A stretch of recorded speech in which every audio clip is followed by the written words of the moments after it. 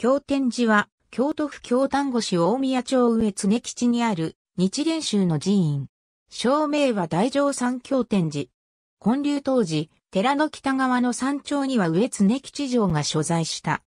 別院に海谷不動村がある。江戸時代後半には、丹後地理面企業の中心地となった与佐郡、茅屋地域と中郡の郡境である、平地峠のふもとに位置し、重要な交通路であった網野街道を見下ろす高台にある。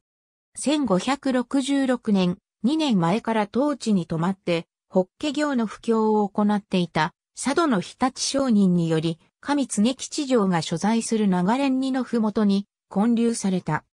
経典自略演技によれば、金号八千巻の領主であった上常義樹の城主、新道山城守の若君の病を併有した功績により、創立されたとされ、上司が深く帰依した。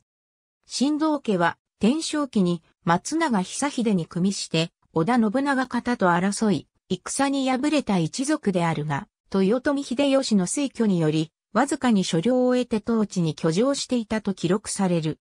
1600年頃、細川藤隆により、丹後一式氏が滅ぼされた戦乱の折、困窮した常吉村民は村を離れ、当時の二代目、悲観も宮津の京王寺に居を移したが、その間に寺の大半は村と共に消失した。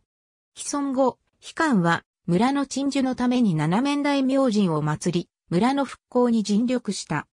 この折、京天寺は京王寺の祭りとなったが、1752年9月に京王寺松から離脱し、京都本国寺松に属した。1826年2月1日に21代、費用が再建した三門が現存する。一軒一個の楼門であり、入りもや作り、三河原武器。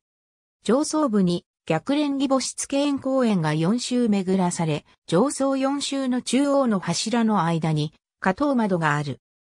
大工は、茅の富田一族で、幕末期に茅谷を中心に名建築を残した富田義兵の名も2番目に記されているが、義兵が茅大工の中核的存在となったのは、天保年間以降とみられ、この三門はその片鱗が見られない簡素な作りとなっている。構えとしては、同町内の修徳寺三門と類似性が高い。江戸時代に再建された本堂と栗は、1906年9月6日に消失した。同年11月に栗は再建、1912年10月に本堂を再建したが、1927年の北、丹後地震によりいずれも倒壊し、現存する本堂と栗は1931年に再建されたものである。境内堂として、かつては、万神堂、七面堂があり、三十万神、七面大明神を安置した。寺門の交流のため、盆章三度、1709年、1812年3月15日、1892年3月に鋳造した。参道にある2基の仏宝塔が大宮町の有形文化財とされる。1基は享保11年のもので高さ2メートル。1基は法暦年間のもので高さ1.6メートル。所在地、京都府京丹後市上常吉商事本寺1115アクセス。ありがとうございます。